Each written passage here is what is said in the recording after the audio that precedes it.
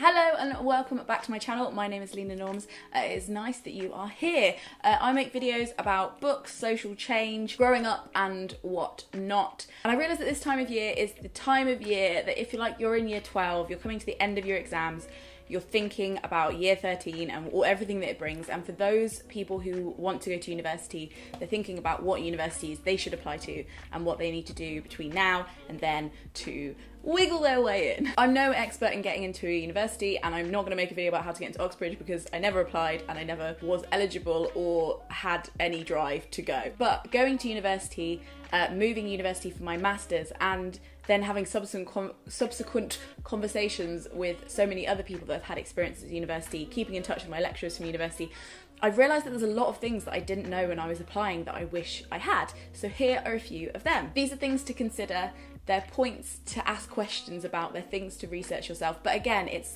frustrating because if you don't have experience of parents going to university, my parents are really helpful. My mum didn't go to university, and my dad got a university degree at a college, so it's very different. And also, if you don't have a school that is like really trained in trying to get people into universities or or is very thorough about showing you how, it can be really invisible to people. It can be weird. And I applied to university um, on my own. I didn't apply when I was at school, so I didn't get that kind of support from the school from applying, and it was just so confusing. And I'm glad.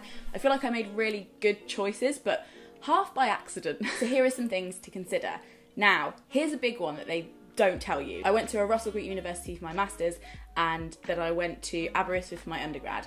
Um, I've got videos on how I felt about my experience at Aberystwyth. You can click here, but like spoiler alert, very positive. And there is a thing depending on the resources and the organisation of the university, and sometimes on their reputation and how important they think their lecturers are, um, that they kind of weight how much time they actually give you with the lecturers, which, in my opinion, is what you're really paying for: is face to face interaction and time with those experts. So Aberystwyth, I was taught by qualified lecturers who were doing active research and had years and years of experience from day one. Like they were the people that were my personal tutors. They were the people that delivered the lectures. They were mainly people that delivered the seminars where we discussed the work. They were completely present in the whole thing. It was only when I came out of Aberystwyth and had conversations with other people, chatted to lecturers and stuff, that I realised that that wasn't the case at every university. And not that it's a bad thing, but I think it is an explicit choice that you should be um, aware that you're making. So at a lot of other universities, and from what I've heard, this tends to be how high how high ranking they are in the league tables they won't, you won't really have any interaction with actual lecturers until second year at least. So a lot of your seminars will be led by PhD students that are still learning, who are quite young. Your lectures might even be delivered by those people too, which isn't necessarily a bad thing, but it is a choice. A choice that you're making, uh, and it's one that people are often not told that they are, and and that's frustrating to me. Um, so it's a really important question to ask when you go to Open Days or you're looking at universities. You know, at what stage will I get taught exclusively or the majority of the time by a lecturer, by a person who's had years and years of experience explaining these kind of concepts.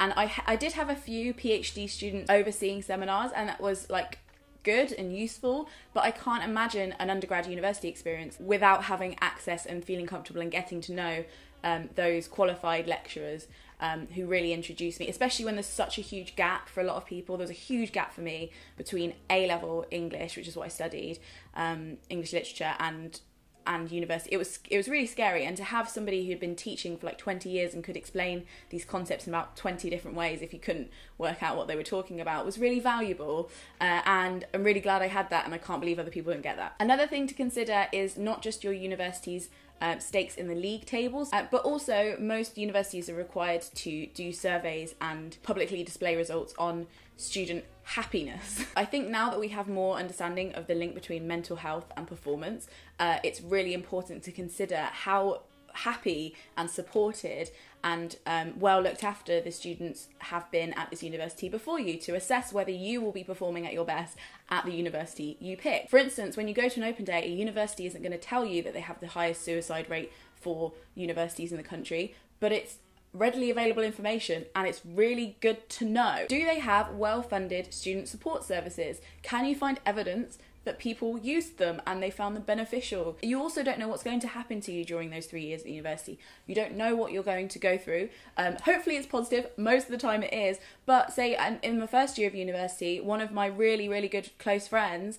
Uh, in first year, his his his mum and his sister just died, like in in the second term of university, and it was huge. And having a university that was understanding and supportive made all the difference to whether he could stay or not. And I've heard and witnessed lots of stories like that where people go through these huge life changes um, that are outside of the curriculum, and you want to make sure that when you're going through something, your university and the lecturers within it aren't adding to that. Again, you need to ask questions about their attitudes and their policies towards letting you do internships and work experience while you're at university. A lot of lecturers are there because they care about the subject and they want you to do well and they also want you to be employed afterwards. But it's worth bearing in mind that they are academics. They are also to some degree preparing you preparing you for PhD and to be lecturers like them. So there's not always that cognitive link for some lecturers between your really quite urgent need to get as much experience as possible while at university and so that you can live and survive after you leave and doing those internships and work experience things while you're there. So it's it's worth asking the questions like do you have a policy around that especially for third years? Do you take marks off for special circumstances if you need to take 2 weeks off to go and do a big opportunity or internship that will lead to a job? Do you, how do you, like how do you, do you help people apply for internships? These are all interesting questions to ask, and if they don't have ready answers, that's already a red flag. I'm personally really passionate about that. I think it's really important, and I've heard some great stories and I've heard some horror stories. So it's it's worth asking that. You know, even when you're not even in first year, ask it for third year. Are you chill with this? Also consider the kind of place you're moving to. For me, moving from Coventry, which is the biggest busiest, 10th biggest city in the UK, to Aberystwyth, which is a tiny 14,000 populated um, town by the sea in rural Wales, was incredible for me. I wanted that small town vibe, that like some people find that isolating, but I found it really liberating in a way that I could focus and concentrate. Um, but consider how your environment will affect your study. Like, do you thrive in a city environment? Would you like a campus experience so you can meet people and feel part of a community? Or would you rather have something that isn't campus based? Do you feel the need to be close and accessible to your family? Do you feel that deep down it might be better if, if there was six hours between you and your family just so that you can grow as a person and become an individual? Um, these are all interesting questions to ask and i think sometimes people uh, become have this huge imposter syndrome about getting into university that as soon as they're offered a place somewhere they'll just pick the person with the highest score in the league tables. And it doesn't mean that you are going to perform at the rate of the highest performing um, student. I'm also like you have to bear in mind that a lot of these top universities have top students that have been coached from a young age, had personal training in their subjects, and will perform at a really high level because they were already set to do that before applying. And not to say that Oxbridge or big universities aren't going to set you up incredibly for a very successful academic experience, but it's okay to be a medium sized fish in a medium sized pond because you'll still come out with a first. People, people at every university get first. It's not an exclusive thing. And, and again, I think it, depending on your industry, the reputation of some universities is becoming less and less important, especially as people have conversations about social mobility and diversity. It, it's not always going to be worth three years where you don't feel like you are being looked after or fit just to be able to put that university name on your CV. I think growing interpersonal skills, getting really good at your discipline, and working hard in your lectures and being able to focus um, on your degree, having a well rounded uh, personality and and other hobbies and experiences are all key parts of being employable when you leave. So make sure that wherever you pick, you feel like that can happen. Also, consider what your passions are. Passions keep you sane, they're good for your mental health, and doing hobbies that aren't related to your degree is a really key part of becoming a person. So if you are really passionate about musical theatre or bird watching or LARPing or debate society, um, see if there is one at your university. Check what it's like. There'll often be evidence on the internet about how active those groups are. They'll have Facebook pages or blogs where they've shared what they've been doing, and like that's all really important to research as well. And if you don't have a hobby, that's amazing. I joined five societies in first year. It meant I experimented and met lots of different kinds of people and really like diversified my um, friendship circle from the people I was used to being around, which was incredible. So don't worry if you don't have RB, you don't need to look it up. But it is useful looking at how active the student union is and how many societies there are and how active they are. And then finally, this is for people who are applying for masters, really. I don't know if this happens at undergrad, but it definitely happened to me at master's level. Uh, when I started my masters, I was really interested in publishing and thinking about that, but part of me also really loved study. I'd really enjoyed writing my undergrad dissertation. I loved the academic discipline of English literature, and I was kind of thinking about doing a PhD. When I got to my chosen master's university, after a few months, we were asked to write our dissertation proposal. So I wrote one about the depiction of disability in Circus and Freak Show um, literature and I wrote a proposal for it. I did some research, I read some books, gave my proposal in. And for those of you who don't know, like if you are doing a PhD, you pretty much do need to do a dissertation at master's level so they can see what you've done. And it's a huge part of your application process for a, a PhD. And I was told that my dissertation uh, proposal wasn't picked. And I was like, sorry, what? What do you mean picked? It was picked. And it turns out that at a lot of these masters um, courses, after you've given them quite a lot of the money, um, it's revealed that you don't necessarily get to do a dissertation as part of your masters. They get put into a pool, and because lecturers are very busy and important, um, they pick out the ones they feel like overseeing. And if there isn't somebody who feels like they're an expert in your field, mine field being just contemporary literature, um, or somebody who has the time or feels like it, you just don't get to do a dissertation. And for me, that was a bit heartbreaking because I was like, is there something wrong with my proposal? Should I do it again? Was it just not good enough? And they were like, no, it was a perfect level. We, you just, you know, we just couldn't find anyone for you, so sorry. Um, and and you don't get a chance to redo it. You don't get a chance to reapply, and that was a really um, frustrating part of my master's experience because it actually did cut me off from being able to a PhD, or at least I'd have to go away and somehow fund myself for like another year, two years to write an independent dissertation without the resources or the university uh, support. So like.